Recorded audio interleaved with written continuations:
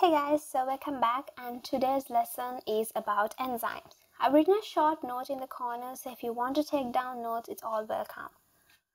Enzymes. Enzymes are biological catalysts. So that means enzymes don't get used up.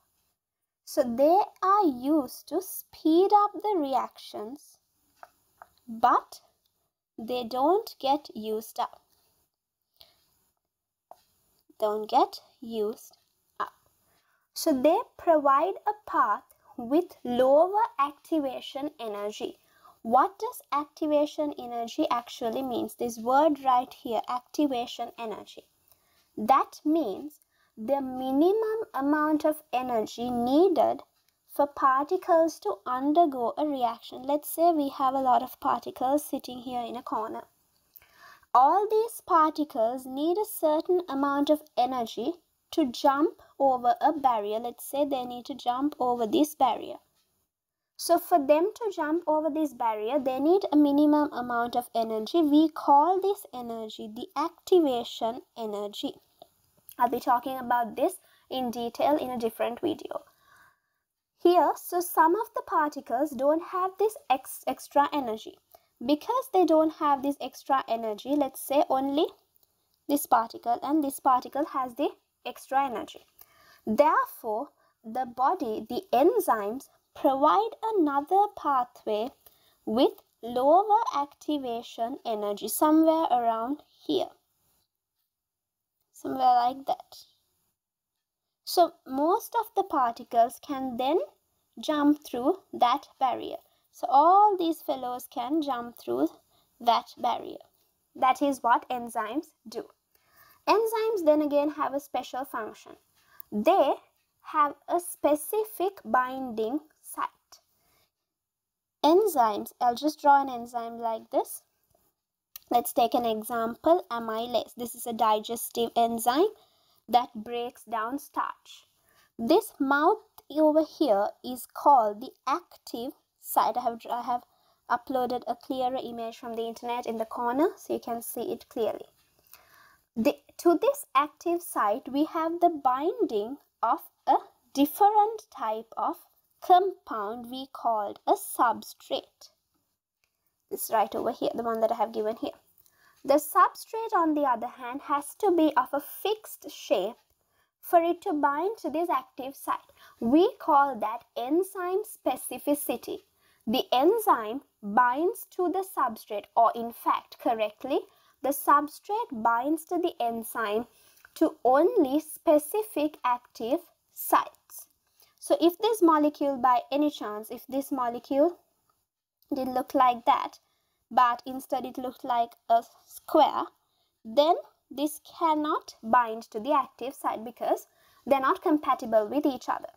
Once they bind to each other, they form something called the enzyme substrate complex. This is also referred to as the ES complex.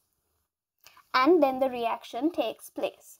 Once the reaction place takes place, you can notice a similarity here. This area and this area is the same. That means the shape of the active site is unaltered. Therefore, it can catalyze more reactions. Focus on the keywords. Right? So there are a few examples of enzymes. The one example that I have used is amylase, which is a digestive enzyme. This follows a mechanism which is called the lock and key mechanism, the one that is given here. So that means the enzymes will bind to its active site just like a key fits into a lock. It has to have that specificity. Below that, I have add another diagram. So I told you this active site should be in perfect fit to the uh, molecule.